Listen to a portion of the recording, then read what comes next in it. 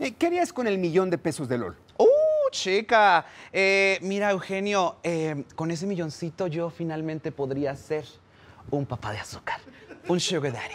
Eso en la comunidad LGBT es poder. Ser un papá de azúcar es lo que todos queremos ser. Veo que no me entiendes, Eugenio. Mm, ¡Ah! Tú eres el papá de azúcar de Alessandra Rosaldo. Ah, ah ya, ya. Es el que paga las cuentas. Así es, así es, así. Tener dinero da poder y lo necesitamos.